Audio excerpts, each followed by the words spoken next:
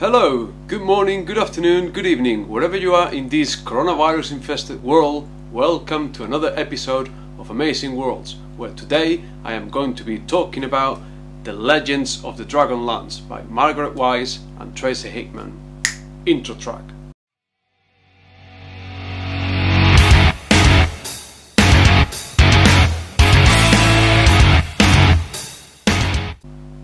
So, it's been a while, welcome back. Been busy uh, with work, um, uh, life, and things in general. Um, Spain is on the state of alarm, we are shut down, we cannot leave home. Um, had to cancel my trip to London last minute. Um, so, um, hopefully, it's a chance to catch up with a bit of reading, uh, with a bit of um, certainly spending time with the boys, and getting back uh, in the habit of filming once a week. So today um, I want to talk about Legends of the Dragonlance, um, Margaret Weis and Tracy Hickman. Here is my English edition.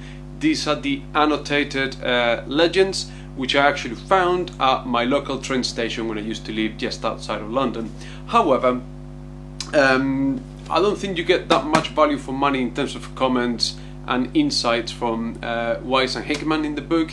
And if you are thinking of getting Legends of the Dragonlance, which I strongly recommend, uh, I think you should get the ones with the original covers by Larry Elmore. Absolutely brilliant. I've got them at my parents' home, and um, the artwork is incredible, and it just uh, gives the whole story that little bit extra because they are really captivating, and they are the kind of covers that makes you want to just pick up the book uh, without knowing much about it. So, Legends, where does it fit into the Dragonlance canon? Well, if you don't know, please check out my video on the Dragonlance series reading order, which I'll put on a banner up here and probably in the description as well. And make sure you check out the other video I've got on the preceding trilogy to Legends, which is Chronicles of the Dragonlance. Check out link and hopefully description as well. So, Legends takes place um, a few years after the events of Chronicles of the Dragonlance, and uh, it presents us uh, with Caramon Majere, the warrior uh, sibling twin brother of Raistlin the Wizard, uh, who is now an overweight, obese, drunken oaf. Um, why that is the case is because after events of Chronicles, his brother Raistlin has rejected him, does not want to have anything to do with him, doesn't even recognize him as a brother. Raistlin, as we know from Chronicles, took a path uh, towards evil and now has become the master of the past and the present. And the premise of the trilogy, I won't spoil the ending or anything, but I will just give you the intro. It's basically Raistlin has become uh, a really super powerful wizard and is intent on defying the goddess of evil and taking her place uh, in the pantheon of gods and becoming a god himself, which is a really interesting premise. I don't think I've ever seen anything like that in fantasy before. In order to do so, in order to achieve his goal, Raistlin has to travel back in time and defeat the great wizard of the past, Fistandantilus, uh, take his place, acquire his knowledge, and eventually cross the portal into the abyss where the goddess of evil resides and challenge her in the hope of defeating her. Um, in the process, in order to cross the portal, he needs the help of a pure uh, cleric, a cleric of the god of uh, good, Paladine. So he does um, lure the priestess Crysania to uh, travel back in time with him and help him achieve his goal. On her part, and why would Crysania do that? Being that she is a priestess of the god of good, is well because she thinks she can turn Raistlin away from his chosen path and therefore does follow him in this journey. Uh, Caramon is recruited back by the Conclave of Wizards um, in order to uh, try to stop Raistlin, and they send him back in time to try to stop his brother. um, as well and accompany Crysania in this journey. Accidentally, the Kender Tasslehoff Burrfoot is also sent back in time um, and that introduces a spanner in the works because allegedly uh, Kenders are not one of the races of creatures allowed to travel in time. Um, in the law of Dragonlance, uh, Kenders were created by sort of by accident when um, the god of neutrality was creating dwarves in his forge. The sparks that flew out created uh, Kenders and gnomes, so they're sort of a byproduct of the creation of dwarves, and therefore they are a banned race from traveling in time, and just Tasslehoff's presence introduces an unknown quantity in the equation, and things happen. So, um, the books, as usual, you get um, a map of pre-cataclysm uh, and Krynn, the world where the action takes place. So that's very nice and it helps get into the story. Uh, for some people, the issue of the concept of traveling in time uh, can be tricky if not handled correctly. But to my mind, uh, the way that time travel is dealt with in Legends, it's really well done, it is consistent, it's got that sort of uh, Back to the Future feel where maybe if we travel back in time and affect events we can alter the course of history. So there is that happening there. But I think it's handled really really well. It doesn't detract at all from the story um, and it's a really um, really interesting story. Um, the characterization of, of the main protagonists of the story um, it's brilliant. So we follow Raistlin on his quest for power and we follow Caramon on his quest to save his brother. Um, however um, he undergoes his own journey himself and um, there are greater themes uh, in Legends uh, than maybe there were in Chronicles. Chronicles was a pure good versus evil story. Um, Legends is focused on the relationship uh, between the two twins and uh, the slight codependency uh, relationship that they've had always in the past and how each one deals with the separation um, of their lives as one goes one way and the other one goes the other. And I think the themes in Legends are far deeper, far more personal and far more meaningful than they were in Chronicles, which is why to my mind Legends is a superior read to Chronicles of the Dragonlance. Um, you know, you've got that theme about that sibling love slash rivalry going on there, uh, the theme of uh, ambition and what some people are willing to do, and the heights that they are willing to climb in order to achieve what they so desire.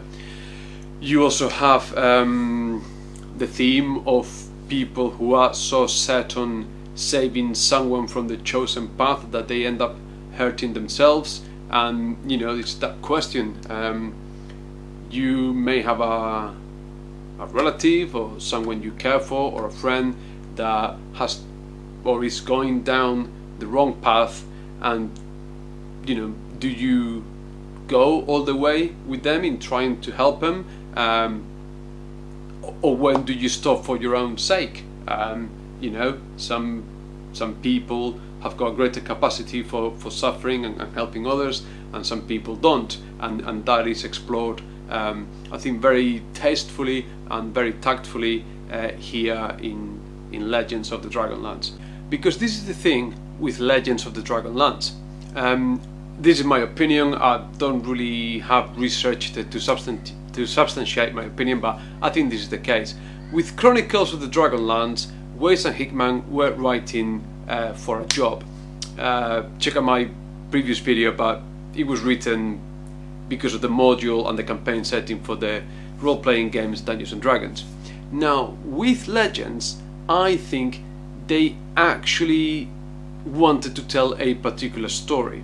Um, they actually picked the two more fleshed out characters from Chronicles because you could argue that most of them were very unidimensional um, and they just focused on Raistlin and Caramon and their relationship and Legends is much more character driven than Chronicles was. I mean the, the theme explorations that with Raistlin pursuing his ambition regardless who or no matter what is quite interesting. Um, the the story arc of Crysania, uh, blinded by her devotion, both um, uh, metaphorically and in reality, is very well crafted as well. Um, Caramon's devotion to save his brother is uh, keeping him totally unaware of all the other amazingly really good things that he's got going in his life. Um, and he decides, subconsciously perhaps, to choose um, a really negative path for himself instead of allowing himself to be happy. Um, so there's all these things and all these explorations and all these ideas that make Legends a much more compelling read than Chronicles. Um, and even some of the secondary characters, like uh, the Dark Elf Dalamar, who is sent to spy on Raistlin but cannot feel but admire the heights and the prowess and the expertise that Raistlin has achieved. Um, and and you know it's one of those things where you admire the the art, not the artist, isn't it? Um, all these things, um, all these complexities, all these intricacies um, are at play in Legends. Um, so I really, really strongly recommend it. I think I read, I'm pretty certain, I read Legends before Chronicles um, when I was a child and it did not detract at all from the story. You certainly do not need to have read Chronicles uh, in order to, to enjoy uh, Legends. Um, it helps because um, if you've read Chronicles, you'll be more familiar with the characters, uh, but I think the story is really strong and it stands on its own merit, on its own on its own two feet, without the help of the Chronicles background. Um, some of the players that survived Chronicles uh, are still around in Legends, but this is not a party uh, on an adventure quest. As I said, the focus is on Raistlin and Caramon, and the rest of the um, characters from Chronicles play a very secondary, and some of them even not just featured on, on a page to say they got their own things to do and their own issues to worry about, and they are totally removed from from the story. So that's the case with the barbarians, uh, Goldmoon and Riverwind. Uh, Tanis, Half Elven still there, Kitiara still there, and they, they, there's something that they have to do, but, but it's not the main focus uh, of the story. Um, in terms of setting, it is I, I really enjoy Dragonlance. I mean, perhaps the books that we read in our childhood uh, are the ones that we really hold in high esteem because they had that much more profound impact on us. But I've reread Legends quite a few times as an adult, and I've always enjoyed it.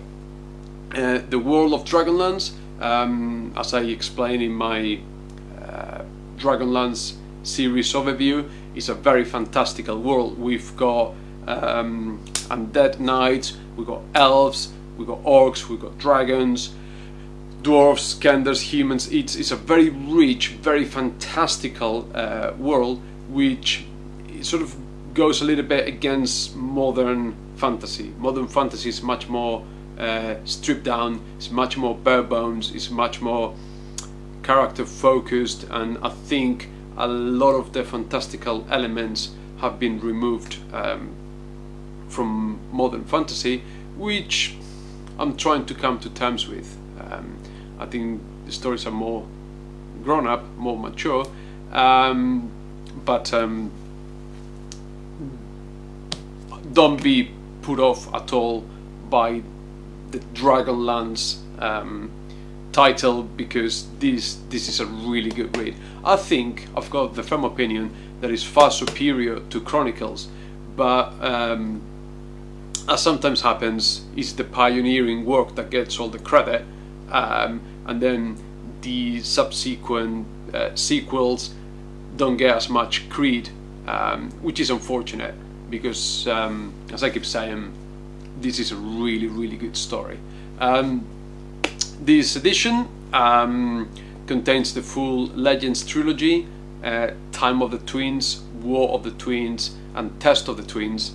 Um, it is a very easy read, it is very enjoyable, and um, I cannot recommend it enough. I think Legends is probably, certainly in my top five all time uh, fantasy series, without a shadow of a doubt. Definitely, definitely, definitely up there with Game of Thrones, Lord of the Rings, and I'll think about a couple others to put there. Um, anyway, uh, that's all I've got for today. Thank you very much for watching. Please, please, please like, subscribe, comment. Let me know what you think. Do you agree? Do you disagree? And if you, even if you press the thumbs down button, comment uh, and let me know. Um, it's going to be a long, uh, a long couple of weeks. Uh, the school where I work has been shut. Uh, we've been told to stay home, and I'm going to be in lockdown with two little boys who can't stay put. So this is going to be definitely interesting times. Anyway, until next time, please stay safe, follow advice, stay indoors, keep safe, have fun, catch up with some reading, enjoy your time. Please, please, please take care and see you next time. Bye.